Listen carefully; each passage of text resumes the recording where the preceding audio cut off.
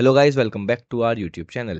In today's video, we will see Rode Wireless Go 2 dB settings. So dB means decibels. Okay. So the Rode Wireless Go 2 features adjustable dB settings that allow you to tailor the audio input levels. Okay. So here we will see how it's work. So the dB control settings that can locate under the receiver so when you see under a receiver here you will find two buttons.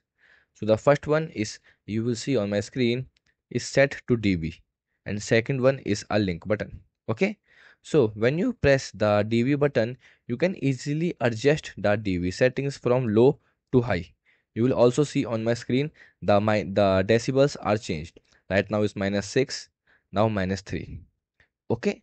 So for high level of decibels for loud environment or when you need a maximum sensitivity. So you can set to 0 to 6 decibels okay? So in this case you will also the mic will also get some extra background noise okay? So to do it to 0 you can simple press this button until you set to 0 okay? So here it is 0 and when you again press it you will go to its lowest settings minus 30 because it will runs in a loop. And when you again press it it will increase the decibels. Okay? So for higher noiseable room you can set to 0 to 6 okay? So for medium level then in this case you can adjust it between 12 to 18 decibels. Sorry minus 12 to 18 a balance settings for general uses.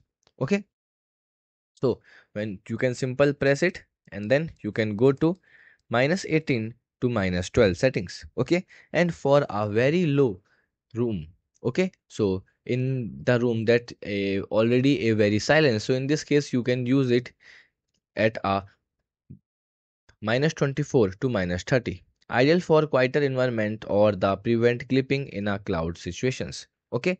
So you can press this button and then move to it like this okay? So you will see on my screen so here is you can do it. Also you can do it while using your mobile phone. When you connect your receiver with your mobile phone and then you can open our Rode Central app here you will find our option to set the decibels according to your room okay? According to the environment. So here is our settings you can do in to change the decibels and set the decibels okay? So and that's up and that's it so wrap on adjusting the dB settings on the Rode wireless go 2 with these tips. You can enhance your audio quality and ensure your recording sound professionally.